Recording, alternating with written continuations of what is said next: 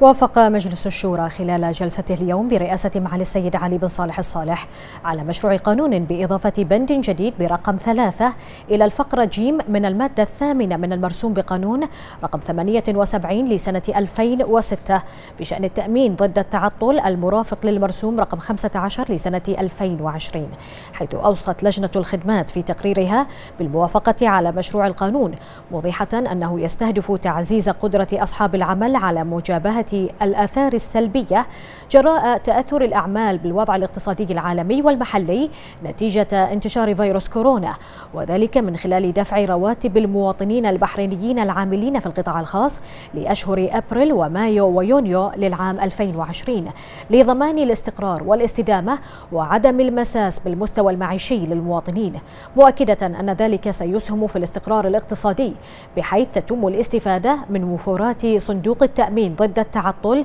بقيمة إجمالية تقدر ب 115 مليون دينار بحريني لحماية البحرينيين العاملين في القطاع الخاص من خطر التعطل بسبب الأوضاع الاقتصادية الراهنة وهو الأمر الذي يأتي متسقا مع الأهداف التي أنشئ من أجلها الصندوق.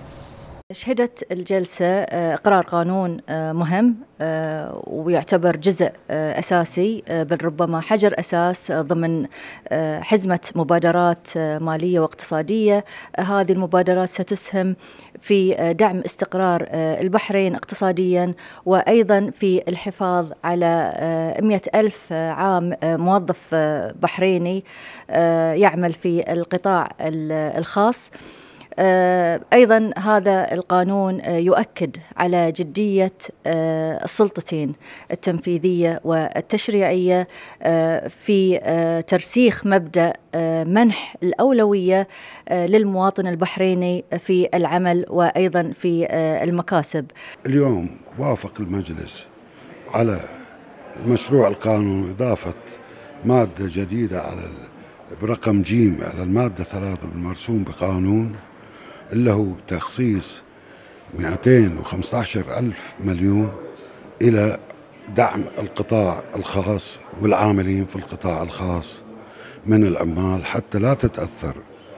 معيشتهم وتأثر وضعهم بالأزمة هذه الطاحنة. الهدف من مشروع القانون هو دعم وتعزيز أصحاب العمل لمواجهة الأزمة اللي سببها فيروس كورونا من خلال دفع رواتب العاملين في القطاع الخاص البحرينيين طبعا لمدة ثلاثة شهور أبريل ومايو ويونيو 2020 طبعا هاي راح يساهم في استقرار المستوى المعيشي للمواطنين والمستوى الاستقرار الاقتصادي في البلد.